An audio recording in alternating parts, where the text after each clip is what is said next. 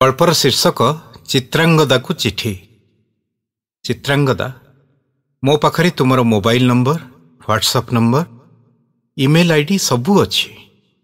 ଅନେକ ଦିନ ଧରି ଆମେ ଫେସବୁକ୍ ଫ୍ରେଣ୍ଡ ମଧ୍ୟ। ଏମିତିକି ତୁମେ ବର୍ଷେ ହେବ ଟ୍ୱିଟର ଆକାଉଣ୍ଟ ଖୋଲିଛ ଏବଂ ତୁମ ଟ୍ୱିଟରକୁ ବି ମୁଁ ଫଲୋ କରେ। ନିୟମିତ ନହେଲେ ବି ଯେତେବେଳେ ସମ୍ଭବ ହୁଏ ବା ଏକୁଟିଆ ବସିଥାଏ ବା ଯେବେ ତୁମେ ମନେ ପଡ଼। କିନ୍ତୁ ତୁମକୁ ମୁଁ ଯେଉଁ କଥା କହିବାକୁ ଚାହୁଁଛି ତା ଏସବୁ ମାଧ୍ୟମରେ କହିବା ସମ୍ଭବପର ନୁହେଁ। ଏମିତିରେ ବି ଲ୍ୟାଣ୍ଡଲାଇନ୍ କି ମୋବାଇଲ ଫୋନ୍ରେ ମନ ଖୋଲି କଥାବାର୍ତ୍ତା କରିବା କଷ୍ଟ। ପୁଣି ମୋ ମୋବାଇଲରେ କେବଳ ଏସ୍ ଏମ୍ ଏସ୍ ମାନେ ସର୍ଟ ମେସେଜ ସର୍ଭିସ୍ ହିଁ ଉପଲବ୍ଧ।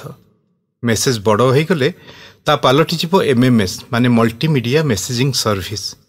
ଯାହା ପଠାଇବା ବା ଖୋଲିବାର ସାଧନ ମୋ ମୋବାଇଲରେ ନାହିଁ କି ସେସବୁ କରିବାର କଳାକୌଶଳ ବି ମୋତେ ମାଲୁମ ନାହିଁ। ମୋଟ ଉପରେ ମୁଁ ଯାହା କହିବାକୁ ଚାହେଁ ତା ପାଇଁ ଏସ୍ ଏମ୍ ଏସ୍ ବା ଏମ୍ ଏମ୍ ଏସ୍ କୁହ ବା ମୋବାଇଲ ହ୍ୱାଟ୍ସଆପ୍ କାହାରି ବି ସାମର୍ଥ୍ୟ ନାହିଁ। ଫେସବୁକ୍ରେ ମନ କଥାକୁ ସାର୍ବଜନୀନ କରିବାର ଇଚ୍ଛା ଓ ସାହସର ମଧ୍ୟ ଘୋର ଅଭାବ ମୋ ପାଖରେ।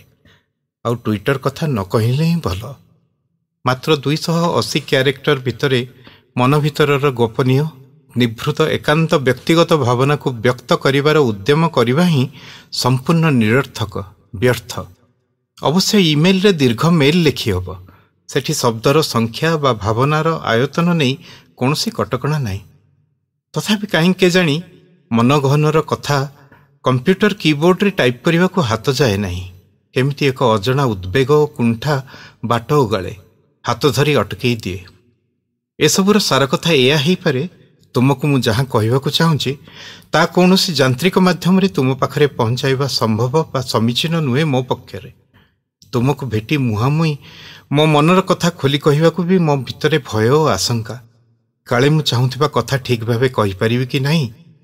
କହିପାରିଲେ ବି କାଳେ ତୁମେ ମୋତେ ଭୁଲ ବୁଝି ବସିବ ମୋର ଆଚରଣ ଅଶାଳୀନ ଅଶ୍ଳୀଳ ମନେ ହେବ କିମ୍ବା ମୋର ନିଭୃତ ଇଚ୍ଛାକୁ ତୁମେ ଆଦିମ ଆରଣ୍ୟକ ବୋଲି ଭାବି ବସିବ ଏବଂ ଏ ଅନ୍ତରଙ୍ଗ ଅଧ୍ୟାୟ ମନେ ହେବ ସମ୍ପୂର୍ଣ୍ଣ ନିଷିଦ୍ଧ ଅଶୋଭନୀୟ ଓ ଅଭାବନୀୟ। ମୋର ଏ ଦୀର୍ଘ ଉପକ୍ରମଣିକା ତୁମକୁ ନିଶ୍ଚୟ ବୋର ଲାଗୁଥିବ। ଲାଗୁଥିବ ପୁରାପୁରି ଅନାବଶ୍ୟକ ଓ ଅତି ନାଟକୀୟ। ଏମିତି ଆରବ୍ୟ ରଜନୀର ରୋମାଞ୍ଚ ଭରା ରହସ୍ୟ କିମ୍ବା କୁହୁକ ପେଟିର ଯାଦୁ କାହାଣୀ ପରି କେଉଁ ଅଜବ ନଗରୀର ଗଜବ କଥା ମୁଁ ତୁମକୁ କହିବାକୁ ଚାହେଁ ଭାବି ତୁମେ ଏକା ସାଙ୍ଗରେ ବ୍ୟସ୍ତ ବିବ୍ରତ ଓ ବିରକ୍ତ ମଧ୍ୟ ମନେ କରୁଥାଇପାର। କହୁ କହୁ କ'ଣ କିଛି ଅକଳ୍ପନୀୟ ଅକଥନୀୟ କଥା କାଳେ କହି ବସିବି ବୋଲି ମନେ ମନେ ଶଙ୍କିତ ମଧ୍ୟ ହେଉଥାଇପାର ତେବେ ମୁଁ ତୁମକୁ ଶତ ପ୍ରତିଶତ ବିଶ୍ୱାସ ଦେବାକୁ ଚାହେଁ। ମୋ ମନର କଥା ଖୋଲି କହିବା ପାଇଁ ଏ ଚିଠି ଲେଖିବାର ନିର୍ଣ୍ଣୟ ମୁଁ ବହୁ ଭାବିଚିନ୍ତି ପୁରାପୁରି ସଚେତନ ଭାବରେ ନେଇଛି। ତେଣୁ ଆରମ୍ଭରୁ କଥାଟା ନ କହି ବୁଲେଇ ବଙ୍କେଇ କହିବା ନେଇ ମୋର କୌଣସି ନିହିତ ଉଦ୍ଦେଶ୍ୟ କିମ୍ବା ହିଡିନ୍ ଏଜେଣ୍ଡା ନାହିଁ। ଏକଥା ଆମେ ସଭିଏଁ ଜାଣିଛେ। କାଗଜ କଲମରେ ନିଜ ହାତ ଲେଖା ଚିଠିରେ ହିଁ ଆପଣାପଣର ମହକ ଥାଏ ତୁମକୁ ସେତିକି ଆପଣାର ନ ଭାବୁଥିଲେ ଏ ଚିଠି ଲେଖିବାର ପରିକଳ୍ପନା ମୁଁ କେବେ କରିପାରିନଥାନ୍ତି ଯେହେତୁ ନିଜ ମନ କଥା କହିବାକୁ କୌଣସି ଯାନ୍ତ୍ରିକ ମାଧ୍ୟମର ନୈର୍ବ୍ୟକ୍ତିକତା ମୋତେ ଜମା ବି ଗ୍ରହଣୀୟ ହୁଏ ନାହିଁ ସେଥିପାଇଁ ଆଜି ତୁମକୁ ଏ ପତ୍ର ଲେଖା। ଜାଣିଛ ଚିତ୍ରାଙ୍ଗଦା ଏବେ ସବୁଠି ବନ୍ଧୁ ମିଳନର ପର୍ବ UP school ME school college university ସବୁ ସ୍ତରରେ ଏକାଠି ପଡ଼ୁଥିବା ସହପାଠୀ ସହପାଠିନୀମାନେ ପରସ୍ପରକୁ ଖୋଜୁଛନ୍ତି ଲୋଡ଼ୁଛନ୍ତି ଅନେକ ବର୍ଷ ପରେ। ଯେବେ ଜୀବନର ଘୋଡ଼ା ଦୌଡ଼ରେ ସମସ୍ତେ କ୍ଳାନ୍ତ ଅବସନ୍ନ ବିଭିନ୍ନ ମାତ୍ରାରେ କ୍ଷତାକ୍ତ ମଧ୍ୟ ସମସ୍ତଙ୍କ ପିଲାମାନେ ବଡ଼ ହେଇଗଲେଣି। ବାହାରେ ରହି ପାଠ ପଢ଼ୁଛନ୍ତି ବା ଚାକିରି ବାକିରି କରୁଛନ୍ତି କାହା କାହା ପିଲା ବାହାସାହା ହେଇସାରିଲେଣି। ସମସ୍ତଙ୍କ ବାପା ମା ପ୍ରାୟ ସେପୁରକୁ ବାଟ କାଟିଲେଣି। ଭାଇ ଭଉଣୀ ସେମାନଙ୍କ ପିଲାମାନେ ସଭିଏ ନିଜ ନିଜର ପରିବାର ନିଜ ନିଜ ସମସ୍ୟାରେ ବ୍ୟସ୍ତ। କାହା ସୁଖ ଦୁଃଖରେ ସାଥୀ ହେବା ପାଇଁ କିଛି ନ କରିପାରିଲେ ବି ଅନ୍ତତଃ ଅପରର ମନ କଥା ଶୁଣି ସାନ୍ତ୍ୱନା ଦେବା ପାଇଁ ଇଚ୍ଛା ଓ ସମୟର ଘୋର ଅଭାବ ଆପଣାର ଲୋକ ଭାବେ ଗଣା ହେଉଥିବା ଜ୍ଞାତି କୁଟୁମ୍ବ ଆତ୍ମୀୟ ସ୍ୱଜନ ପ୍ରିୟ ପରିଜନମାନଙ୍କ ପାଖରେ।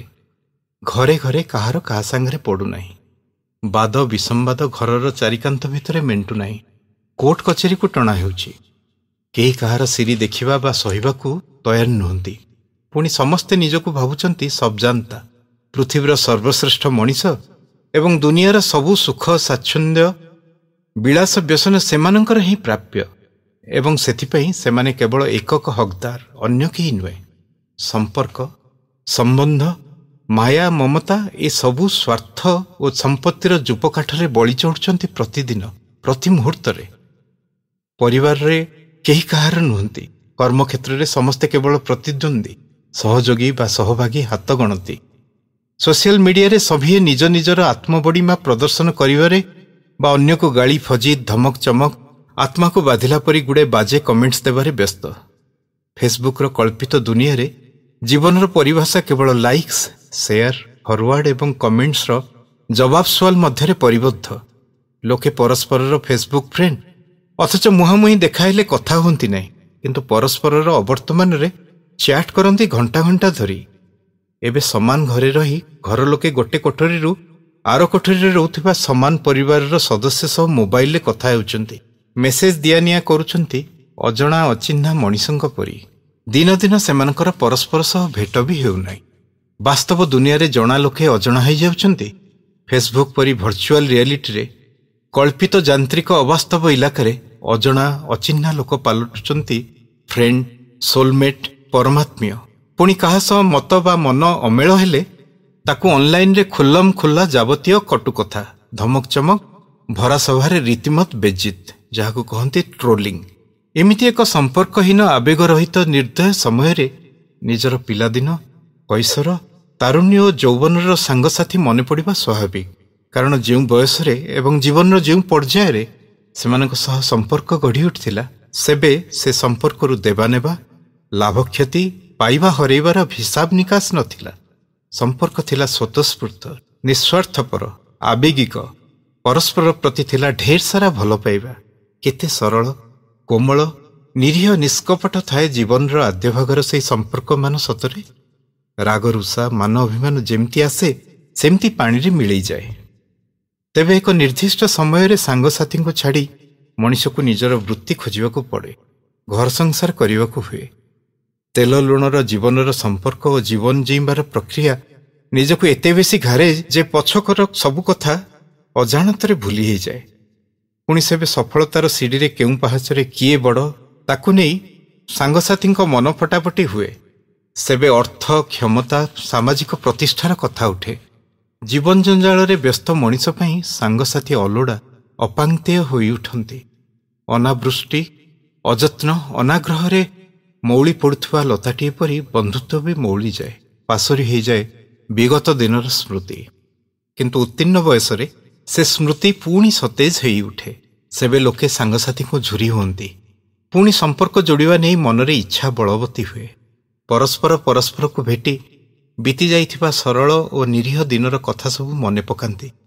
ସେ କଥା ମନେ ପକାଉ ପକାଉ ନିଜ ନିଜ ଜୀବନର ମାନଚିତ୍ର ଆପେ ଆପେ ଖୋଲିଯାଏ। କେମିତି ରହିଛି ସଭିଙ୍କର ଜୀବନଯାତ୍ରା ତାକୁ ନେଇ କଥାର ପସରା ମେଲିଯାଏ। କୌଣସି ମୁଖା ପିନ୍ଧିବାର ଛଳନା କରିବାର ଦାୟ ନଥାଇ ମନ କଥା ବଖାଣି ହୁଏ କେବଳ ପୁରୁଣା ସାଙ୍ଗସାଥୀଙ୍କ ପାଖରେ।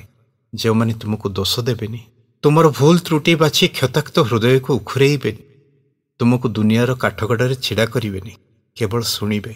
ସହାନୁଭୂତି ଦେବେ ବୋଧ ଦେବେ ବିଶ୍ୱାସ ଦେବେ ଦମ୍ଭ ଦେବେ ଆମେ ସାଥିରେ ଅଛୁ ବୋଲି ହିମ୍ମତ ବି ଦେବେ ସେବେ ଜୀବନର ସେହି ପର୍ଯ୍ୟାୟରେ ହ୍ୱାଟ୍ସଅପ୍ ଫେସବୁକ୍ରେ ନିର୍ଦ୍ଦିଷ୍ଟ ବ୍ୟାଚ୍ରେ ପଢ଼ୁଥିବା ସହପାଠୀ ସହପାଠିନୀଙ୍କର ଗ୍ରୁପ୍ ଗଢ଼ି ଉଠେ ବର୍ଷେ ଛଅ ମାସରେ କେଉଁଠି ଏକାଠି ହୋଇ ଖିଆପିଆ ଭୋଜିଭାତ ନାଚ ଗୀତ ମଜାମୌଜର ପର୍ବ ଚାଲେ। ପୁଣି ଥରେ ନିଜର ପିଲାଦିନ ଶୈଶବ କୈଶୋର ତାରୁଣ୍ୟ ଓ ଯୌବନର ସୁଖଦ ଅନୁଭୂତିର ସ୍ମୃତି ଏକାଠି ବାଣ୍ଟିବା ଏବଂ ତା ସାଥିରେ ନୀତିଦିନିଆ ଶଗଡ଼ଗୁଡ଼ାର ଜୀବନର ନିସଙ୍ଗତା ନିର୍ଜନତା ଯନ୍ତ୍ରଣା ସୁଖ ଦୁଃଖ ପ୍ରାପ୍ତି ଅପ୍ରାପ୍ତିରେ ଭାଗିଦାର ହେବାର ପ୍ରକ୍ରିୟା ପରିଣତ ବୟସରେ ଏବର ଓ ଆଗର ଜୀବନ ଜୀଇବାକୁ ଆଶା ଓ ସାହସ ଦିଏ। ପରସ୍ପର ପରସ୍ପରକୁ ଭରସା ଦିଅନ୍ତି। ପରସ୍ପରର ସାହାରା ବନନ୍ତି। ନିର୍ଭୟ ଆଶ୍ରୟସ୍ଥଳର ରାହା ଦେଖାନ୍ତି। ଉତ୍ତୀର୍ଣ୍ଣ ବୟସରେ ଆଦ୍ୟ ଜୀବନର ଏ ଅବଲୋକନ ଛାଡ଼ି ଆସିଥିବା ଅତୀତକୁ ଏ ପଶ୍ଚାତ ଦୃଷ୍ଟି ଯୁଗ ଯୁଗ ଧରି ଗଡ଼ି ଆସିଛି ସଂସାରର ଅନ୍ୟ ସବୁ ରୀତିରିୱାଜ ପରି ପ୍ରକୃତିର ନିର୍ଦ୍ଧାର୍ଯ୍ୟ ନୀତି ନିୟମ ପରି କାରଣ ଏ ପ୍ରକ୍ରିୟା ଅବଧାରିତ ଓ ଅବଶ୍ୟମ୍ଭାବୀ ଚିତ୍ରାଙ୍ଗଦା ମୋ ମନ କଥା ଜଣାଇବାକୁ ତୁମକୁ ଚିଠି ଲେଖୁ ଲେଖୁ ମୁଁ ବନ୍ଧୁ ମିଳନର ଗୁଢ଼ ରହସ୍ୟ ଖୋଜି ବାହାର କରିବାକୁ ବସିଲିଣି। ଇଏ ବି ଉତ୍ତୀର୍ଣ୍ଣ ବୟସର ଏକ ଲକ୍ଷଣ ନିଶ୍ଚୟ। କେଉଁ କଥାରୁ ଆରମ୍ଭ କରି କେଉଁଠି ଶେଷ କରିବା କହିବାକୁ ଚାହୁଁଥିବା କଥାକୁ ଛାଡ଼ି ଆଉ ସବୁ କହିବା ଏବଂ କ'ଣ କହିବାକୁ ଚାହୁଁଥିଲ ତା ସମ୍ପୂର୍ଣ୍ଣ ଭାବେ ଭୁଲିଯିବା ବି ଏ ବୟସର ଅନ୍ୟତମ ଲକ୍ଷଣ। ସେ ନେଇ ତୁମେ ଏକମତ ହେବ ବୋଲି ମୁଁ ଭାବୁଛି। ଅସଲରେ ବହୁ ବର୍ଷ ପରେ ଆମ କଲେଜ ଗ୍ରାଜୁଏସନ ବ୍ୟାଚ୍ର ବନ୍ଧୁ ମିଳନରେ ଆମର ଦେଖା ହେଲା। ସେଇ କଥା କହିବାକୁ ଯାଇ ୟା ଭିତରେ ମୁଁ ବନ୍ଧୁ ମିଳନର ଏକ ସାମାଜିକ ଓ ମନସ୍ତାତ୍ତ୍ୱିକ ବ୍ୟାଖ୍ୟା କରି ବସିଲିଣି। ଛୋଟ ଛୋଟ କଥାରେ ବିଶ୍ଳେଷଣ କରିବା ମୋର ପୁରୁଣା ବଦଭ୍ୟାସ। ଅବଶ୍ୟ ଛାତ୍ର ଓ ବୃତ୍ତିଗତ ଜୀବନରେ ଅନେକ ଥର ମୋର ବିଶ୍ଳେଷଣ କରିବାର କଳା ବା ଆନାଲିଟିକାଲ ସ୍କିଲ୍ ପାଇଁ ମୁଁ ବେଶ ବାହବା ପାଇଛି। ଏବଂ କିଛିଟା ଆତ୍ମଗର୍ବରେ ଉତ୍ଫୁଲ୍ଲିତ ମଧ୍ୟ ହେଇଛି। ତାହା ସ୍ୱୀକାର ନ କରିବା ସତ୍ୟର ଅପଳାପ ହେବ। କିନ୍ତୁ ଜୀବନ ବଞ୍ଚିବାର ପ୍ରକ୍ରିୟାକୁ ଲେନ୍ସ ପକାଇ ବିଶ୍ଳେଷଣ କଲେ ମଣିଷ ଦାର୍ଶନିକ ସମାଜ ବିଜ୍ଞାନୀ ବା ମନସ୍ତତ୍ଵ ବି ଥାଇପାରେ କିନ୍ତୁ ସୁଖୀ ବା ପରିତୃପ୍ତ ହୁଏ ନାହିଁ। ବରଂ ପ୍ରତିଟି କଥାକୁ ନିରୀକ୍ଷେଇ ଦେଖିଲେ ଜୀବନ ଦୁର୍ବିସହ ହେଇଉଠେ। ହୁଏତ ଯାହା ନିର୍ଦ୍ଧାର୍ଯ୍ୟ ଯାହା ଆମ ଜୀବନର ବାସ୍ତବିକ ସ୍ଥିତି ଯାହାକୁ ବଦଳେଇ ହେବନି ତାକୁ ମଥାପାତି ଗ୍ରହଣ କରିନେବାରେ ହିଁ ସମସ୍ତାରୀ। ସେମିତି ଏକ ଉପଲବ୍ଧି ଆମକୁ ଜୀବନର ଅପୂର୍ଣ୍ଣତା ବା ଅପ୍ରାପ୍ତିକୁ ଏଇ ତ ଜୀବନ ଏଇଆ ଭାବି ଗ୍ରହଣ କରିନେବାରେ ସହାୟକ ହୁଏ। କିନ୍ତୁ ଏ ଗ୍ରହଣୀୟତା ଆକ୍ସେପ୍ଟେନ୍ସକୁ ମୁହଁ ବୁଲେଇ ନିଚ୍ଛକ ବୌଦ୍ଧିକତାକୁ ନେଇ ବଞ୍ଚିବାରେ ଜୀବନ କାହିଁ? ତୁଚ୍ଛା ଦାର୍ଶନିକତାରେ ମାତିବାରେ ଜୀବନୀ ଶକ୍ତି କି ପ୍ରାଣ ପ୍ରାଚୁର୍ଯ୍ୟ କାହିଁ? ଚିତ୍ରାଙ୍ଗଦା ତୁମେ କିନ୍ତୁ ଏସବୁ ମାମଲାରେ ମୋଠୁ ପୁରାପୁରି ଭିନ୍ନ। ବିଲକୁଲ ବିପରୀତ ମୂଳରୁ ହିଁ ତୁମେ ଖୁବ୍ ସ୍ୱାଧୀନଚେତା ମୁକ୍ତବାଦିନୀ ନିଜ ସ୍ୱାର୍ଥରେ ଜୀବନ ଜୀଇଁବାରେ ବିଶ୍ୱାସ ରଖ ଏବଂ ଯାହାକୁ ତୁମକୁ ଭଲ ଲାଗେ ନାହିଁ ସେମିତି ପରିସ୍ଥିତିକୁ ନିଜର ନିୟତି ବୋଲି ନ ଭାବି ସଚେତନ ଭାବେ ଉଦ୍ୟମ କରି ସେଥିରେ ପରିବର୍ତ୍ତନ ଆଣ କଲେଜ ଜୀବନରୁ ହିଁ ନିଜ ମର୍ଜିର ମାଲିକ ଥିଲ ତୁମେ ଦେଖିବାକୁ ଖୁବ୍ ସୁନ୍ଦରୀ ଡେଙ୍ଗି ଆଉ ତୁମ ହସ ଥିଲା ଯାହାକୁ କହନ୍ତି ପୁରା ମୁକ୍ତାଝରା ହସ ତୁମେ ସେବେ କଲେଜର ଟେନିସ୍ କୋର୍ଟରେ ଟେନିସ୍ ଖେଳୁଥିଲ? ଶୀତଦିନେ ବ୍ୟାଡମିଣ୍ଟନ କୋର୍ଟରେ ବ୍ୟାଡମିଣ୍ଟନ ପୁଣି ଗୀତ ଗାଇବା ନାଚିବା ଅଭିନୟ କରିବା ଏସବୁ କଳାରେ ଥିଲ ମାହିର। ତୁମେ ଯେତିକି ସୁନ୍ଦରୀ ଥିଲ ସେତିକି ଆକର୍ଷଣୀୟ ଥିଲା ତୁମର ବ୍ୟକ୍ତିତ୍ୱ। ଏସବୁ ପ୍ରତିଭା ସହ ତୁମେ ବେଶ ମେଧାବିନୀ ଛାତ୍ରୀ ମଧ୍ୟ ଥିଲ। ଥିଲ ବି ଭଲ ଡିବେଟର ଓ ଅର୍ଗାନାଇଜର। ଆମେମାନେ ସାଙ୍ଗ ମହଲରେ କଥା ହେଉଥିଲେ ଦେଖ ଝିଅଟାକୁ ଈଶ୍ୱର କେଉଁଥିରେ ବି ଉଣା କରିନାହାନ୍ତି।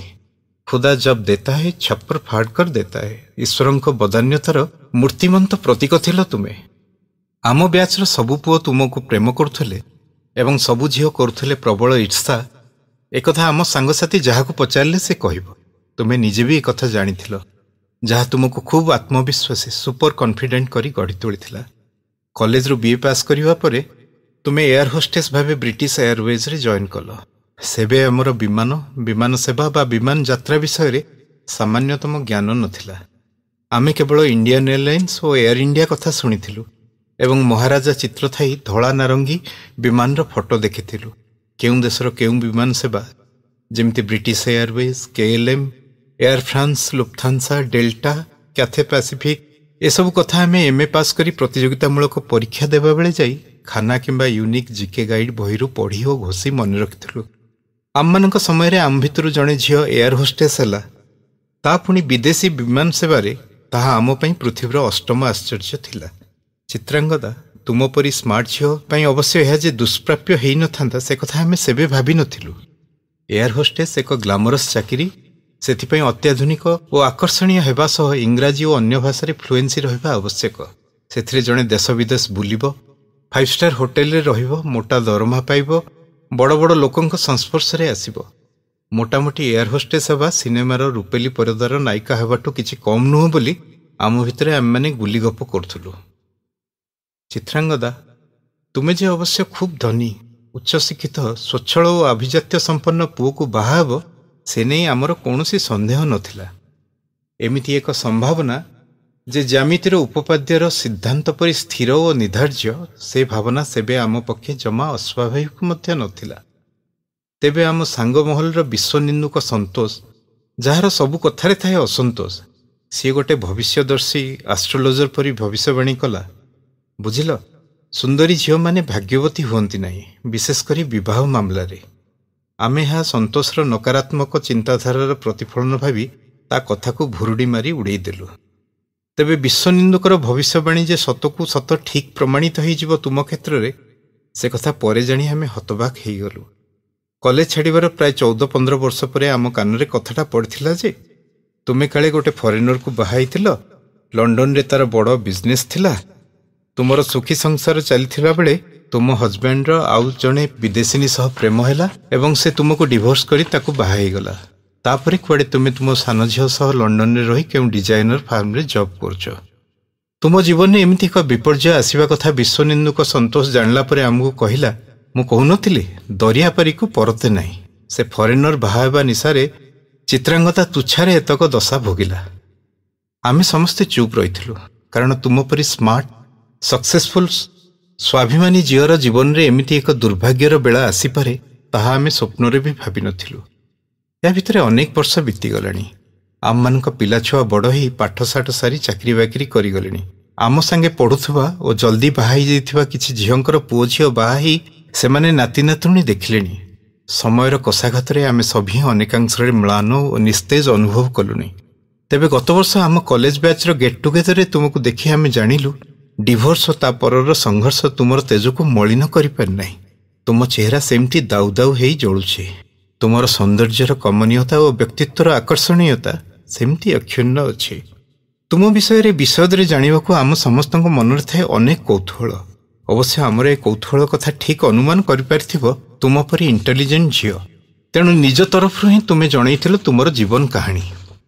ବ୍ରିଟିଶ ଏୟାରୱେଜ୍ରେ ଏୟାର ହୋଷ୍ଟେସ୍ ଥିବା ସମୟରେ ତୁମର ଲଣ୍ଡନରେ ଦେଖା ହେଇଥିଲା ପିଟର ସହ ପ୍ରଖ୍ୟାତ ଇଣ୍ଟରନ୍ୟାସନାଲ ଫ୍ୟାସନ ଡିଜାଇନର ପିଟର ସହ କେଇ ମାସର ଡେଟିଂ ପରେ ତୁମେ ଦୁହେଁ ବିବାହ ବନ୍ଧନରେ ଆବଦ୍ଧ ହେଇଥିଲ ବାହାଘର ପରେ ତୁମେ ଏୟାର ହୋଷ୍ଟେସ୍ ଚାକିରି ଛାଡ଼ି ପିଟରର ଫ୍ୟାସନ ବିଜନେସରେ ସହାୟତା କରୁଥିଲ ବିବାହର ଦୁଇ ବର୍ଷ ପରେ ତୁମ କୋଳକୁ ଆସିଥିଲା ଝିଅ ଆନି ପିଟର ପୃଥିବୀ ସାରା ବୁଲୁଥିଲା ଫ୍ୟାସନ ଡିଜାଇନର ଭାବେ ସୁନ୍ଦରୀ ସ୍ମାର୍ଟ ଇଣ୍ଟରନ୍ୟାସନାଲ ମଡେଲ ବିଭିନ୍ନ ଏକ୍ସୋଟିକ୍ ଲୋକେସନରେ ଫ୍ୟାସନ ସୁଟ୍ ବିଶ୍ୱବ୍ୟାପୀ ବଡ଼ ବଡ଼ ସହରରେ ଫ୍ୟାସନ ଶୋ ପିଟରର ଫ୍ୟାସନ ବ୍ରାଣ୍ଡର ଚାହିଦା ବଢ଼ି ବଢ଼ି ଚାଲିଥିଲା ତାର ଲାଇଫଷ୍ଟାଇଲ ସୌନ୍ଦର୍ଯ୍ୟ ଗ୍ଲାମର ଅର୍ଥ ଉପଭୋଗ ବିଳାସ ବ୍ୟସନର ଦୁନିଆରେ ଅନ୍ୟ ନାରୀଙ୍କ ସହ ସମ୍ପର୍କ ବା ଏଫଆଇଆର୍ସ ହେବା କିଛି ଆଶ୍ଚର୍ଯ୍ୟର ବିଷୟ ନଥିଲା। ତେବେ ସେସବୁ ତୁମ ସହ ତାର ସମ୍ପର୍କରେ ଭଟ୍ଟା ପକାଇ ନଥିଲା। ବାହାଘରର ଦଶ ବର୍ଷ ପରେ ପିଟର ଜୀବନରେ ଆସିଥିଲା ଫ୍ୟାସନ ମଡେଲ ଜେସିକା ଯାହା ସହ ପିଟରର ସମ୍ପର୍କ ଆଫେୟାର୍ସ ନୁହେଁ କମିଟେଡ୍ ରିଲେସନସିପ୍ର ରୂପ ନେଇଥିଲା ଏବଂ ତାପରେ ତୁମେ ଓ ପିଟର ପରସ୍ପରର ସମ୍ମତିରେ ଡିଭୋର୍ସ ନେଇଥିଲ। ତୁମ ଝିଅ ଆନି ବୋର୍ଡିଂ ସ୍କୁଲରେ ରହି ପଢ଼ୁଥିଲା। ତୁମେ ଘର ଭଡ଼ା ନେଇ ସେଇ ଲଣ୍ଡନର ସବର୍ବରେ ଏକ ସହରତଳି ଅଞ୍ଚଳରେ ଆଉ ଏକ ଫ୍ୟାସନ ଡିଜାଇନର ଫାର୍ମରେ କାମ କରୁଥିଲ। ତୁମେ ମଧ୍ୟ ଜଣେ ନାମୀ ଦାମୀ ଡିଜାଇନର ଭାବେ ଖ୍ୟାତି ଅର୍ଜନ କରିଥିଲ। ପାଇଥିଲ ସଫଳତା ଯଶ ଅର୍ଥ ପ୍ରତିଷ୍ଠା। ୟା ଭିତରେ ଆନି ବଡ଼ ହେଇଯାଇଥିଲା। ଏବେ ସେ ଆମେରିକାରେ ମ୍ୟାନେଜମେଣ୍ଟ ସାରି ତାର ଆମେରିକାନ ବୟଫ୍ରେଣ୍ଡ ମାଇକ୍ ସହ ନ୍ୟୁ ଅର୍ଲିନ୍ସରେ ରହୁଛି ବୟସ ବଢ଼ିବା ସହ ତୁମର ନିସଙ୍ଗତା ବଢ଼ୁଥିଲା। ତୁମେ ଥିଲ ତୁମ ବାପା ମାଙ୍କର ଗୋଟିଏ ସନ୍ତାନ। ପିଟର ସହ ଡିଭୋର୍ସ ପରେ ତୁମ ବାପା ମା କେଇ ବର୍ଷ ତୁମ ପାଖରେ ଯାଇ ଲଣ୍ଡନରେ ରହିଥିଲେ। ତେବେ ପ୍ରାୟ ତିନି ବର୍ଷ ହେବ ଜଣକ ପରେ ଜଣେ ସେମାନେ ଡକାଡକି ହେଇ ଚାଲିଗଲେ ମାତ୍ର କେଇ ମାସର ବ୍ୟବଧାନରେ। ବାପା ମା ଗଲା ପରେ ଯେତେ ମନ ଲଗେଇଲେ ବି ତୁମର ମନ ଆଉ କାମରେ ଲାଗିଲା ନାହିଁ। ନିଜ ଦେଶକୁ ଫେରିଆସିବାକୁ ପ୍ରବଳ ଇଚ୍ଛା ହେଲା। ତେଣୁ ପ୍ରାୟ ବର୍ଷେ ହେବ ପୁରୀର ସମୁଦ୍ର କୂଳର ଏକ ଆପାର୍ଟମେଣ୍ଟରେ ଗୋଟେ ସି ଫେସିଂ ଫ୍ଲାଟ୍ କିଣି ତୁମେ ଏକୁଟିଆ ରହୁଛ। ସେଠି ଯୋଗ ପ୍ରାଣାୟାମ କରୁଛ? ବେଦ ଉପନିଷଦ ପୁରାଣ ଶାସ୍ତ୍ର ଭିତରେ ବୁଡ଼ି ରହି ସନାତନ ହିନ୍ଦୁ ଧର୍ମର ଶାଶ୍ୱତ ଆଧ୍ୟାତ୍ମିକ ଉପଲବ୍ଧିର ସନ୍ଧାନରେ ଅଛ। Air hostess fashion designer glamour diva ଜୀବନ high life high society money glamour third ବାର୍ଟ ଚାକଚକ୍ୟ ସବୁ ଛାଡ଼ି ଶ୍ରୀକ୍ଷେତ୍ର ପୁରୀରେ ଯୋଗିନୀ ସନ୍ନ୍ୟାସିନୀର ଜୀବନ ଜିଉଁଛ। ଗୋଟିଏ ଜୀବନ କାଳରେ ମେରୁର ଏପାଖରୁ ସେପାଖକୁ ତୁମର ଏ ଯାତ୍ରାର କାହାଣୀ କୌଣସି ବଲିଉଡ୍ ଫିଲ୍ମର କାହାଣୀଠାରୁ କମ୍ ବିସ୍ମୟକର ନୁହେଁ ଚିତ୍ରାଙ୍ଗଦା। ବନ୍ଧୁ ମିଳନରେ ସେଇ ପ୍ରଥମ ଦେଖା ପରେ ତୁମ ସହ ମୋର ସମ୍ପର୍କ ବଢ଼ିଛି। ଅନେକ ସମୟରେ ତୁମ ସହ ପୁରୀ ବା ଭୁବନେଶ୍ୱରରେ ଦେଖା ହେଇଛି। କଲେଜରେ ଆମ ପାଇଁ ତୁମେ ଅପହଞ୍ଚ ସ୍ୱର୍ଗର ପରିଥିଲ। ଏବେ କିନ୍ତୁ ତୁମେ ମର୍ତ୍ତ୍ୟର ଯୋଗିନୀ। ଜୀବନର ସବୁ ଜୁଆର ଭଟ୍ଟା ଭିତରେ ବି ତୁମ ସୌନ୍ଦର୍ଯ୍ୟର ଯାଦୁକରୀ ପ୍ରଭାବ ବ୍ୟକ୍ତିତ୍ୱର ଗଭୀରତା ଓ ବିସ୍ତୃତିରେ ତିଳେ ମାତ୍ର ହ୍ରାସ ଘଟିନାହିଁ। ତୁମ ସହ ନିବିଡ଼ ଭାବରେ ମିଶିଲା ପରେ ମୋର ଉପଲବ୍ଧି ହେଲା ଯେଉଁ ଚିତ୍ରାଙ୍ଗଦା ଆମ କଲେଜ ଜୀବନରେ ସହପାଠିନୀ ଥିଲା ତାର ସୌନ୍ଦର୍ଯ୍ୟ ଥିଲା ବାହ୍ୟ। ଏବେ ଯେଉଁ ଚିତ୍ରାଙ୍ଗଦା ନାମକ ନାରୀକୁ ମୁଁ ଭେଟୁଛି ସେ ନିଜର ଅନ୍ତଃ ସୌନ୍ଦର୍ଯ୍ୟରେ ଜ୍ୱାଜୁଲ୍ୟମାନ she is beautiful from inside ଗତ ମାସ ପୁରୀର ସମୁଦ୍ର କୂଳରେ ଝାଉଁବଣ ପାଖରେ ଗୋଟେ ବାଲିବନ୍ତ ଉପରେ ବସି ଆମେ ଆକାଶର ପୂର୍ଣ୍ଣଚନ୍ଦ୍ର ଓ ପୂର୍ଣ୍ଣିମାର ଜୁଆରରେ ଅସ୍ଥିର ଉଦ୍ବେଳିତ ସାଗରର ଲହରୀମାଳାକୁ ନିରୀକ୍ଷଣ କରୁଥିଲୁ। ଆମ ମଥା ଉପରର ଚନ୍ଦ୍ର ଥିଲେ ଶାନ୍ତ ଶୀତଳ ପରିପୂର୍ଣ୍ଣ। ଆଖି ଆଗର ସମୁଦ୍ର ଥିଲା ଅଶାନ୍ତ ଅଧୀର ଅପୂର୍ଣ୍ଣ। ମୋତେ ଲାଗୁଥିଲା ଏକଦା college queen air hostess international fashion designer glamorous diva ଚିତ୍ରାଙ୍ଗଦାରୁ ଏବର ଆଧ୍ୟାତ୍ମ୍ୟ ମାର୍ଗର ଯାତ୍ରିଣୀ ଯୋଗିନୀ ଚିତ୍ରାଙ୍ଗଦାର ଯାତ୍ରା ଯେମିତି ପୂର୍ଣ୍ଣିମାର ଲହରୀରେ ଉଚ୍ଛଳ ଉତ୍ତାଳ ସମୁଦ୍ରରୁ ଶାନ୍ତ ସୌମ୍ୟ ପୂର୍ଣ୍ଣଚନ୍ଦ୍ରର ଶୀତଳ ଚନ୍ଦ୍ରମାକୁ ଏକ ଉତ୍ତରଣର ଯାତ୍ରା। ଚିତ୍ରାଙ୍ଗଦା ସେଇ ଜହ୍ନ ରାତିରେ ତୁମେ ନିଜର ଜୀବନକୁ ନେଇ ବେଶ୍ ଫିଲୋସଫିକାଲ ହେଇ ଉଠିଥିଲ ଏବଂ କହିଥିଲ ଜାଣ ସଞ୍ଜୟ ପିଲାବେଳେ ଶୁଣିଥିଲି ଚିତ୍ରା ନକ୍ଷତ୍ରରେ ମୋର ଜନ୍ମ ବୋଲି ମୋ ବାପା ମା ମୋ ନାଁ ଚିତ୍ରାଙ୍ଗଦା ଦେଇଥିଲେ। ମୋର ସେବେ ଜ୍ୟୋତିଷ ଶାସ୍ତ୍ର ଆଷ୍ଟ୍ରୋଲୋଜି ଭବିଷ୍ୟବାଣୀ ରାଶି ଲଗ୍ନ ଗ୍ରହ ନକ୍ଷତ୍ର ଏସବୁରେ ତିଳେ ମାତ୍ର ବିଶ୍ୱାସ ନଥିଲା। ଏସବୁ ଶାସ୍ତ୍ରୀୟ ଜ୍ଞାନ ବିଜ୍ଞାନ ସମ୍ମତ ନୁହେଁ ବୋଲି ଏକ ଭ୍ରାନ୍ତ ଧାରଣା ମଧ୍ୟ ଥିଲା ମୋ ମନରେ। ନିଜର ରୂପ ସୌନ୍ଦର୍ଯ୍ୟ ପ୍ରତିଭା ଉଦ୍ଯୋଗ ସାମର୍ଥ୍ୟ ଉଚ୍ଚାକାଂକ୍ଷା ନେଇ ମୋ ଭିତରେ ବି ଥିଲା ବେଶ ଏକ ତୀବ୍ର ଭୂମିକା ଯାହାକୁ ମୁଁ ଆତ୍ମବିଶ୍ୱାସ ବୋଲି ଭାବୁଥିଲି। ଏବେ ମୁଁ ଆମର ଶାସ୍ତ୍ର ପୁରାଣ ଅଧ୍ୟୟନ କଲାବେଳେ ଚିତ୍ର ନକ୍ଷତ୍ର ବିଷୟରେ ପଢ଼ିଲି। ଜାଣ ସଞ୍ଜୟ ସେ ନକ୍ଷତ୍ରର ଲକ୍ଷଣ ଯାହା ଯାହା ତା ମୋ ଜୀବନରେ ମୋ ଚରିତ୍ରରେ ମୋ ସତ୍ତାରେ ମୋ ଅସ୍ତିତ୍ୱରେ ଘଟିଛି ପୁରାପୁରି ଶତକଡ଼ା ଶହେ ପ୍ରତିଶତ। ମୁଁ ସ୍ତମ୍ଭୀଭୂତ ଏହା ଭାବି ଯେ ଚିତ୍ରା ନକ୍ଷତ୍ରରେ ଜନ୍ମ ମଣିଷର ଆଚାର ବ୍ୟବହାର ବ୍ୟକ୍ତିତ୍ୱ ସମ୍ପର୍କରେ ଥିବା ଶାସ୍ତ୍ରୀୟ ବର୍ଣ୍ଣନା ସହ ମୋ ନିଜ ଜୀବନର ଯାତ୍ରା ଏତେ ମେଳ ଖାଉଛି କେମିତି? ଚିତ୍ରା ନକ୍ଷତ୍ରରେ ଜନ୍ମିତ ନାରୀର ଲକ୍ଷଣ ସେ ସୁନ୍ଦର ଆକର୍ଷଣୀୟ ବୁଦ୍ଧିମତୀ କଳାବତୀ ମୁକ୍ତଭାସିନୀ ସ୍ୱାଧୀନଚେତା ନେତ୍ରୀ। ସେ ପୁଣି ରସିକା ପ୍ରେମିକା ଅଭିସାରିକା। କିନ୍ତୁ ଦେଶାନ୍ତରୀ ହେବା ଏବଂ ଅସ୍ଥିର ଦାମ୍ପତ୍ୟ ଜୀବନ ମଧ୍ୟ ତାର ଭାଗ୍ୟରେ ଲେଖା। ତେବେ ଏସବୁ ସତ୍ତ୍ୱେ ମୋର ଜୀବନ ପ୍ରତି କୌଣସି ଅଭିଯୋଗ ନାହିଁ। ମୋର ମଧ୍ୟ ସେମିତି କିଛି ବଡ଼ ଅବଶୋଷ ନାହିଁ। ଦୁନିଆର ବହୁ ଲୋକଙ୍କର ଦୁଃଖ ମୋ ଠାରୁ ବେଶୀ ପ୍ରାପ୍ତି ମୋ ଅପେକ୍ଷା କମ୍। ସେ ଦିଗରୁ ମୁଁ ନିଜକୁ ପରମ ସୌଭାଗ୍ୟବତୀ ନହେଲେ ବି ଭାଗ୍ୟବତୀ ବୋଲି ନିଶ୍ଚୟ କହିବି। I have made my peace with life and I made peace with myself ମୁଁ ମୋର ଜୀବନ ଓ ନିଜ ସହ ଶାନ୍ତି ସ୍ଥାପନ କରିଛି। ଚିତ୍ରାଙ୍ଗଦା ତୁମ କଥାରୁ ମୁଁ ବୁଝିପାରିଥିଲି ତୁମର ଇନର ବିୟୁଟି ଅନ୍ତ ସୌନ୍ଦର୍ଯ୍ୟର ସୂତ୍ର କ'ଣ? ସେବେ ମୋର ମନେ ହେଲା ମୋ ଆଗରେ ବସିଥିବା ଚିତ୍ର ନକ୍ଷତ୍ରରେ ଜନ୍ମିତ ନାରୀ ମୋର କଲେଜ ଜୀବନର ସହପାଠିନୀ ତ୍ରିପୁର ସୁନ୍ଦରୀ ଚିତ୍ରାଙ୍ଗଦାଠୁ ବଳି ଯୋଗିନୀ ସନ୍ନ୍ୟାସିନୀ ଓ ପୂଜାରିଣୀ ମୋ ଜୀବନରେ ଆଉ କାହାକୁ ମୁଁ ଭେଟି ନାହିଁ ବା ଭେଟିବିନି। ଏକ ଅଧୀର ଆବେଗରେ ମୁଁ ତୁମ ହାତ ଧରି କହିଥିଲି ଅନନ୍ତକାଳ ତପ ଜପ ମନ୍ତ୍ରତନ୍ତ୍ର କରି ଯାହା ଯୋଗୀ ମୁନି ତାନ୍ତ୍ରିକ ସାଧକ ପ୍ରାପ୍ତ ହୁଅନ୍ତି ନାହିଁ ସେମିତି କିଛି ଆଧ୍ୟାତ୍ମିକ ସିଦ୍ଧିର ଅଧିକାରିଣୀ ହେଇ ବସିଛ ତୁମେ। ତୁମକୁ ଚିତ୍ରା ବୋଲି ଡାକିପାରିବି ମୁଁ? ଚିତ୍ରାଙ୍ଗଦା ତୁମ ପୂର୍ବଜନ୍ମର ନାମ। ଏ ଜନ୍ମର ନାମ କେବଳ ଚିତ୍ରା। କାରଣ ଗୋଟିଏ ଜୀବନ ଭିତରେ ତୁମର ପୁନର୍ଜନ୍ମ ଘଟିଛି। ତୁମେ ମୋର ଏ ଆବେଗ ଭରା କଥା ଶୁଣି ହସିଥିଲ। କେତେ ଶାନ୍ତ ସମାହିତ ଥିଲା ସେ ହସ। ଏବଂ ମୋ ପାପୁଲିକୁ ନିଜର ପାପୁଲିରେ ଜଳେଇ ଧରି କହିଥିଲ ଚିତ୍ରା ନାଁରେ ମୋତେ କେହି କେବେ ଡାକି ନାହିଁ। କେଜାଣି କାହିଁକି ଏ ନାଁରେ ଗୋଟେ କେମିତି ଆତ୍ମୀୟତାର ଆପଣାପଣର ମଧୁର ମହକ ଅଛି। ଯଦି ମୋତେ ଚିତ୍ର ନାମ ଧରି ଡାକିବାକୁ ତୁମକୁ ତୁମର ଅନ୍ତର କହୁଛି ସେଥିରେ ମୁଁ ବାଧା ଦେବାକୁ କିଏ? ଜାଣ ସଞ୍ଜୟ ମଣିଷର ମସ୍ତିଷ୍କର ଡାକରେ ଭ୍ରାନ୍ତି ମାୟା ଇଲ୍ୟୁଜନ ଥାଇପାରେ। କିନ୍ତୁ ହୃଦୟର ଡାକ ସଦାବେଳେ ସୂର୍ଯ୍ୟ ପରି ସତ୍ୟଶୀଳ ଓ ଉଜ୍ଜଳ ଶୁଦ୍ଧ ସୁବର୍ଣ୍ଣ ପରି ଭାସ୍ୱର। ପୁରୀର ସେ ପୂର୍ଣ୍ଣିମାର ରାତି ଏକ ସ୍ମରଣୀୟ ରାତି ହେଇ ରହିଗଲା ମୋର ସ୍ମୃତିରେ ଅସ୍ତିତ୍ୱରେ ଚେତନରେ ଅବଚେତନରେ ଏବଂ ଅଚେତନରେ। ସେବେଠୁ ମୋ ମନରେ ଏକ ନିଭୃତ ଇଚ୍ଛା ଉଙ୍କି ମାରୁଛି ଯାହାକୁ ମୁହାଁମୁହିଁ କହିବା ପାଇଁ ମୋତେ ଉଭୟ ସଙ୍କୋଚ ଓ ଶଙ୍କା ଆସୁଛି। ଜାଣ ଚିତ୍ରାଙ୍ଗଦା ଅନେକ ସମୟରେ ଯେବେ ଜୀବନର ଜଳାରେ ମୋର ଦେହ ମନ ଆତ୍ମା ଜର୍ଜରିତ ହୋଇଉଠେ ସେବେ ମନ ଡାକେ କାହା କୋଳରେ ମଥା ଦେଇ ଆଖି ବନ୍ଦ କରି ମୁଁ ଖାଲି ଚୁପଚାପ ପଡ଼ି ରହନ୍ତି। ଯେମିତି ସାମୁଦ୍ରିକ ଝଡ଼ରେ ଧ୍ୱସ୍ତ ବିଧ୍ୱସ୍ତ ଜାହାଜ ପୋତାଶ୍ରୟରେ ଆସି ଲଙ୍ଗର ପକେଇ ନିର୍ଭୟରେ ଆଶ୍ରୟ ନିଏ ଠିକ୍ ସେମିତି। ମନ ଡାକେ ସେମିତି କାହା କୋଳରେ ମଥା ଦେଇ ଶୋଇଥିବା ବେଳେ କେହି ମୋର କେଶ ମଧ୍ୟରେ ଅଙ୍ଗୁଳି ଚାଳନା କରନ୍ତା ଖୁବ୍ ଆସ୍ତେ ଧୀରେ ଧୀରେ ଧୀର ମନ୍ଥର ଗତିରେ ତା ମୁଲାୟମ ହାତରେ।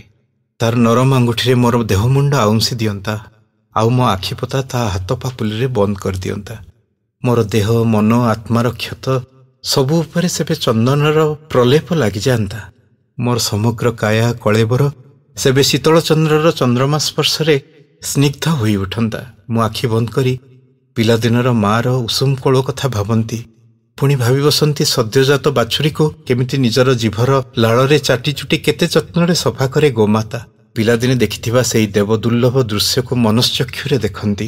କେତେ କୋମଳ ସୁକୁମାର ସ୍ନେହସ୍ନିଗ୍ଧ ସେ ସ୍ପର୍ଶ ତା ଅନୁଭବ କରିବାର ପ୍ରୟାସ କରନ୍ତି। ଜହ୍ନ ରାତିରେ ତୁମର ସେଇ ଯୋଗିନୀ ଚିତ୍ରର ରୂପ ଦେଖିବାଠାରୁ କାୟ ମନୋବାକ୍ୟରେ ଗୋଟିଏ ଭାବନା ଅହରହ ମୋତେ କବଳିତ ମୋହାବିଷ୍ଟ କରି ରଖିଛି।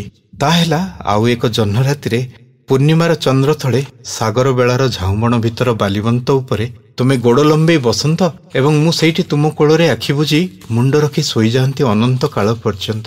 ଜାଣ ଚିତ୍ରା ଯେବେ ମୋ ପିଲା ଖୁବ୍ ଛୋଟ ଥିଲେ ଏବଂ ଜୀବନ ଯନ୍ତ୍ରଣାରେ ମୁଁ ଖୁବ୍ ବିଚଳିତ ଧୈର୍ଯ୍ୟହରା ହୋଇପଡ଼ୁଥିଲି ସେବେ ଯନ୍ତ୍ରଣା ବିଧୁରିତ ଚିତ୍ତରେ କେବେ କେବେ ଆଶ୍ରୟ ନେବା ପାଇଁ ଖଟ ଉପରେ ଗାର୍ଡ ନିଦରେ ଶୋଇଥିବା ମୋ ପିଲାଙ୍କୁ ମୁଁ ସ୍ପର୍ଶ କରେ। ସେମାନଙ୍କ ମୁହଁର ସ୍ୱର୍ଗୀୟ ସ୍ନିଗ୍ଧତା ତ୍ୱଚାର କୋମଳତା ଓ ଉତ୍ତାପ ଏବଂ ଶୋଇ ରହିଥିବା ଆଖିର ନିରୀହପଣ ମୋ ଶରୀର ଓ ଆତ୍ମାରୁ ସବୁ କ୍ଳାନ୍ତି ସବୁ କ୍ଲେଶ ହରି ନିଅନ୍ତି। ଜଣେ ପ୍ରାପ୍ତବୟସ୍କ ନିଜର ଶୟନରତ ଛୋଟ ପିଲାଙ୍କୁ ସ୍ପର୍ଶ କରି ସେମାନଙ୍କୁ ଜଡ଼େଇ ଧରି ନିଜେ ଏକ ଛୋଟ ପିଲା ପରି ଆଖି ବନ୍ଦ କରି ଶୋଇବାର ପ୍ରୟାସ କରିବାର ଅନୁଭୂତି ତୁମର ଅଛି ଚିତ୍ରା? ମା କୋଳ ପରେ ନିଜର ଜନ୍ମିତ ଶିଶୁର କୋମଳ ସ୍ପର୍ଶରେ ମୁଁ ଏକ ନିରାପଦ ଆଶ୍ରୟର ସନ୍ଧାନ ପାଇଥିଲି। ଏକଥା ମୁଁ ଆଜି ଯାଏ କାହାକୁ କହିନାହିଁ। ଏହା ସ୍ୱାଭାବିକ ନା ଅସ୍ୱାଭାବିକ ସେ ନେଇ ମୋର ଦ୍ୱିବିଧା ବି ଅଛି। ତେବେ ଆଜି ମୋର ଖୁବ୍ ମନେ ହେଉଛି ତୁମକୁ ନେହୁରା ହେବାକୁ। ଚିତ୍ରା ତୁମ କୋଳରେ ମୁଣ୍ଡ ରଖି ଥରେ ଶୋଇବାର ସ୍ୱୀକୃତି ଓ ଅଧିକାର ମୋତେ ଦିଅ। ନାରୀ ପୁରୁଷ ଭୋଗୀ ତ୍ୟାଗୀ ଦେହ ବିଧେୟ ସଂସାର ସନ୍ନ୍ୟାସ ଏ ସବୁଠୁ ଉର୍ଦ୍ଧ୍ୱକୁ ଯାଇ ମୋର ଏ ଐକାନ୍ତିକୀ କାମନା ପୂର୍ଣ୍ଣ କର। ଜୀବନର ଏହି ପର୍ଯ୍ୟାୟରେ ଏମିତି କେହି ଜଣେ ସୋଲମେଟ୍ର କୋଳରେ ମଥା ରଖି ନିଶ୍ଚିନ୍ତ ନିଦ୍ରାରେ ଅଚେତ ହେଇଯିବା ଢେର ମାନେ ରଖେ ମୋ ପାଇଁ। ବିଶ୍ୱାସ କର ଏଥିରେ ମୋର ସ୍ୱାର୍ଥ କାମନା ବା ପ୍ରତ୍ୟାଶା କିଛି ବି ନାହିଁ। ପୁରାପୁରି ନିରୀହ ଇଚ୍ଛା ଶତ ପ୍ରତିଶତ ଆବେଗିକ ଓ ଭାବପ୍ରବଣ। ଜୀବନର ରଣାଙ୍ଗନରୁ ସାମୟିକ ଛତ୍ରଭଙ୍ଗ ଦେବାର ଏକ ଅସହାୟ ପ୍ରୟାସ ଏବଂ କିଛି କ୍ଷଣ ପାଇଁ ଭୁଷୁଡ଼ି ପଡ଼ୁଥିବା ଦୁର୍ଗ ଭିତରେ ନିରାପଦ ଆଶ୍ରୟ ଖୋଜିବାର ଅନ୍ଧ ଆତ୍ମଗୋପନ ଉତ୍ତୀର୍ଣ୍ଣ ବୟସରେ ଏମିତି ଏକ ଇଚ୍ଛା ଜାହିର କରିବା ଅନ୍ତରଙ୍ଗ ଅନୁରୋଧ କରିବା ଠିକ୍ କି ଭୁଲ ତା ମୁଁ ଜାଣେ ନା। ଏହା ସମାଜର ଶାଳୀନତାର ବହିର୍ଭୂତ ହେଇପାରେ। ରୁଚିର ବିରୋଧୀ ମର୍ଯ୍ୟାଦା ସମ୍ଭ୍ରମର ପରିପନ୍ଥୀ ହେଇପାରେ। କିନ୍ତୁ ବିଶ୍ୱାସ କର ଚିତ୍ରା ଏ ମୋ ମନର କୌଣସି ନିଷିଦ୍ଧ ଇଚ୍ଛାର ପ୍ରତିଫଳନ ନୁହେଁ। ମୋର ଏ ଆକାଂକ୍ଷା ଦେହାତୀତ ଅତୀନ୍ଦ୍ରିୟ ଏ ମୋର ଅନ୍ତରର ଆତ୍ମାର ଆହ୍ୱାନ ମନଗହନର ଅନ୍ତରଙ୍ଗ ଅନୁଭବ। ତୁମକୁ ଭେଟି ଏମିତି ଏକ ଅନୁରୋଧ କରିବା ପାଇଁ ମୋର ସାହସ ନାହିଁ। Mobile SMS WhatsApp email Facebook ବା ଟ୍ୱିଟରରେ ଏତେ ଗହନ କଥା କହିବା ବା ତାର ମର୍ମକୁ ବ୍ୟକ୍ତ କରିବାର ଉଦ୍ୟମ ହିଁ ବୃଥା। ତେଣୁ ସଚେତନ ଭାବରେ ମୁଁ ଭାବିଲି ମୋ ମନ କଥା କହିବାକୁ ତୁମକୁ ମୁଁ ପତ୍ର ଲେଖିବି। ସେଇଥିପାଇଁ ମୋର ଏ ଚିତ୍ରାଙ୍ଗଦାକୁ ଚିଠି ବରଂ ଚିତ୍ରାକୁ ଚିଟାଉ କହିବା ଅଧିକ ସମୀଚୀନ ହେଇପାରେ। କାରଣ ମୋର ଏ ଅଭିପ୍ସା ଆକାଂକ୍ଷାକୁ ପୂରଣ କରିବାର ସାମର୍ଥ୍ୟ ମୁଁ ଜାଣିଥିବା ପୂର୍ବର ଚିତ୍ରାଙ୍ଗଦାର ନାହିଁ। ଅଛି କେବଳ ଗୋଟିଏ ଜୀବନ କାଳରେ ପୁନର୍ଜନ୍ମ ପାଇଥିବା ଏବର ଚିତ୍ରାର। ଚିତ୍ରା ମୁଁ ମହାଭାରତର ସଞ୍ଜୟ ନୁହେଁ ଯାହାକୁ ଯୁଦ୍ଧ କ୍ଷେତ୍ରରେ ସଂଗଠିତ କୌରବ ପାଣ୍ଡବଙ୍କର ଘୋର ମହାସମରର ଧାରା ବିବରଣୀ ଅନ୍ଧ କୁରୁପତି ଧୃତରାଷ୍ଟ୍ରଙ୍କୁ ଦେବା ପାଇଁ ସ୍ୱୟଂ କୃଷ୍ଣ ଦ୍ୱୈପାୟନ ମହାମୁନି ବ୍ୟାସଦେବ ଦିବ୍ୟ ଦୃଷ୍ଟି ପ୍ରଦାନ କରିଥିଲେ। ମୋର ଦିବ୍ୟ ଦୃଷ୍ଟି ନାହିଁ ପୁରଦୃଷ୍ଟି କି ପଶ୍ଚାତ ଦୃଷ୍ଟି ନାହିଁ ଅନ୍ତର୍ଦୃଷ୍ଟି ବି ନାହିଁ। ମୁଁ ଅତ୍ୟନ୍ତ ସାଧାରଣ। ଏ ଧରାପୃଷ୍ଠରେ ଜୀବନ ସଂଗ୍ରାମରେ ଧୂଳିଧୂସରିତ ଜଣେ କ୍ଳାନ୍ତ ସୈନିକ। ମୁଁ ଯୋଗୀ ନୁହେଁ ସନ୍ନ୍ୟାସୀ ନୁହେଁ। ଏସବୁ ସ୍ୱୀକାରୋକ୍ତି ସ୍ପଷ୍ଟୀକରଣ ପରେ ବି ହୁଏତ ଏ ଚିଠି ମୁଁ ତୁମକୁ କେବେ ବି ପୋଷ୍ଟ ନ କରିପାରେ। ହୁଏତ ତାହା ହିଁ ଅଧିକ ବାସ୍ତବ। ତେବେ ମୋର ହୃଦୟ କହୁଛି ପୋଷ୍ଟ ବାକ୍ସରେ ନ ପକାଇଲେ ବି ମୋର ଏ ପତ୍ରର ଆବେଦନ ଅନନ୍ତ ଅନ୍ତରୀକ୍ଷ ଦେଇ ଇଥରରେ ତୁମ ପାଖରେ ପହଞ୍ଚିବ ନିଶ୍ଚୟ। ସେଇ ଆଶା ନେଇ ରହିଲି। ଇତି ତୁମର ସତୀର୍ଥ ସଞ୍ଜୟ।